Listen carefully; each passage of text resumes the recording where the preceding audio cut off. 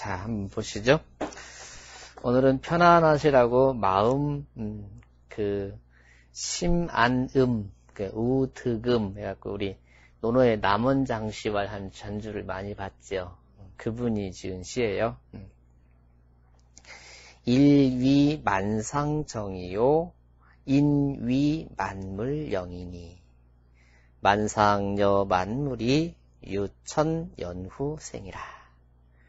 언 유인이 신하고 월 유일이 명하니 유인 여 유일이 하상 불태평가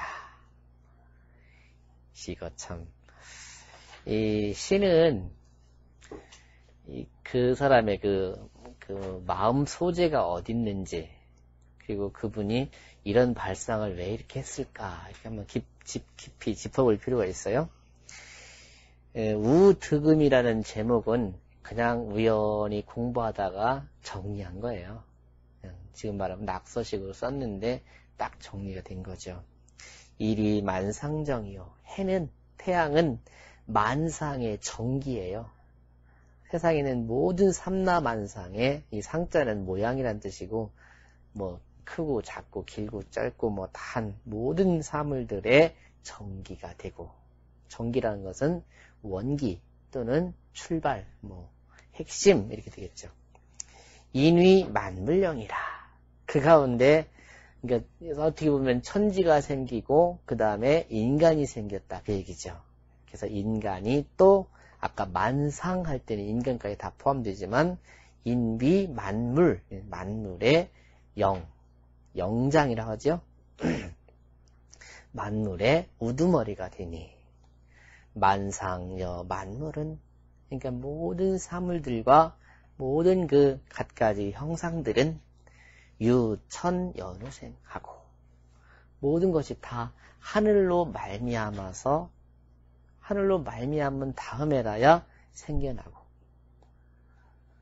무슨 얘기냐면 우리의 스케일을 더 크게 보자는 거예요. 즉 우주적인 측면에서 이렇게 내려다보자는 거예요. 언 유인이 신하고 말은 그죠? 말은 사람들로 말미암아서 믿게 되고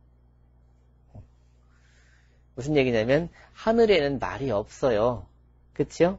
근데 아, 하늘을 보고서 사람들이 그 하늘의 형상을 말하고 삼라만상의 물체를 말한 다음에 그제서야 사람의 입을 통해서 말을 한 다음에라야 아 그게 그거다라고 믿게 되고 월요일이 명하니 달은 그, 그렇죠? 이건 과학 다 그렇잖아요. 달인 달은 해를 말미암아서 밝아지고 실제는 달이라는 게 별개 같지만 사실은 해가 없이는 밝은 빛을 낼 수가 없다 이거죠. 음, 자생 자생적인 전기가 없기 때문에 달은 햇볕을 받아서 반사해주는 역할밖에 안 한다고 하죠.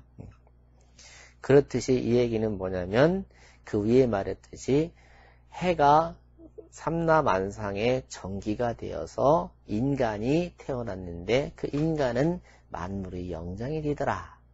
그것처럼 사람들이 하는 말도 사람 입을 통해서 말이 나온 다음에라야 믿어지게 되는 거고 그처럼 달은 또 태양 빛을 받아서야 비로소 밝게 되니 유인여 유일이 사람으로 말미암고 태양으로 말미암는 것이니 하상풀 태평이리요.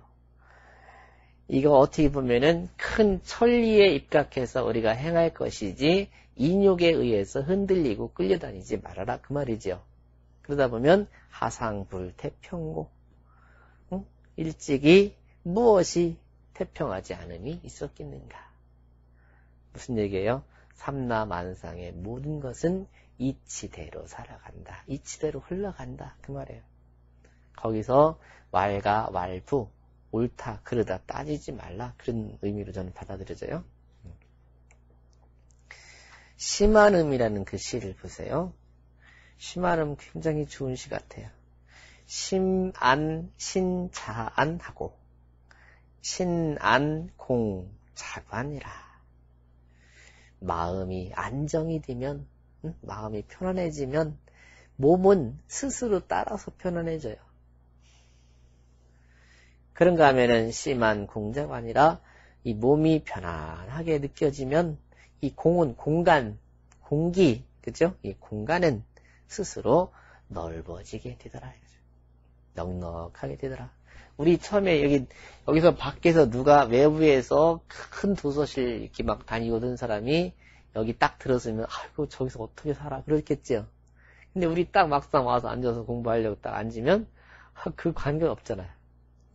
그렇듯이 심안 공자관이라. 마음이 편안해지면 공간은 스스로 넓어지더라. 그러니 심여 신 구한이면 마음과 몸이 함께 굳자죠. 함께 편안해지면 하사 등 상간 일이요. 무슨 일이들 그러니까 사실은 하사는 그 어떤 누가 어떤 일로 능히 상간하리요. 누가 와서 이렇게 간여를 하겠는가? 이렇다 저렇다 하겠는가? 수위 일신소 그러니 그러니 그 누가 일신 내 한 몸을 작다고 말하던가 기안 약 태산을 그 편안함이 태산과 같은 것을 이게 무슨 얘기예요? 지금도 어, 안정돌이 안 돼가지고 수업 시간에 가면은 정말 이게 뭘 해줄지를 모르겠어. 해도 안 통해. 그런데 내 마음이 딱할 일이 딱 정해지고 마음이 딱 편안해지면 조금도 뭐 바람이 분다고 흔들릴 염려도 없고 어, 태산같이 묵중하게 딱 버티고 있다. 그러니 이 작은 몸이라도 이걸 어떻게 작다고 하겠냐 이거죠. 소위 일실소 그누가 이 한 교실에 교실을 작다라고 말하는가? 관여 천지간을 그 넓고 너그러운 것이 천지 사이와 같은 것을 어떻게 보면 우리 공간이라고 하잖아요. 그죠? 빌공자, 사이간자라고 하는데 그 사이에 왔다 갔다 하는 기운을 공기라고 하잖아요. 그러니까 이 기라는 것은 틈만 있으면 다 통하는 거죠. 근데 그 작은 틈이라도 그 틈새에서 우리가 숨을 헐떡거리고 쉬지 않을 정도면 넓은 거죠. 어, 그렇게 생각하면 이 분명 이분의 그 심경은 집이 초라해도 탓하지 않고 그렇죠?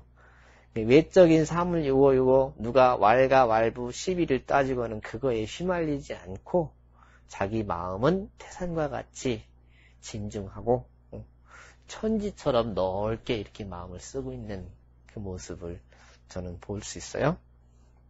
한번 읽어볼까요? 이리 만상정이요 인위만물영하니 만상역 만물은 유천연후생이라 언유인이 신하고 월유일이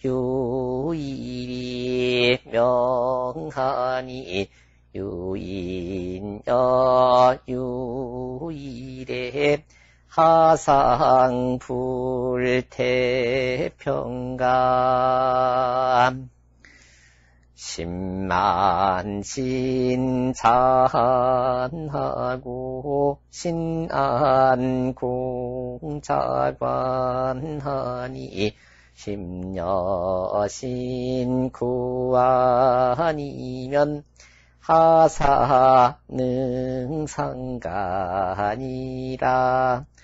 하사능상가니랴. 소위일신소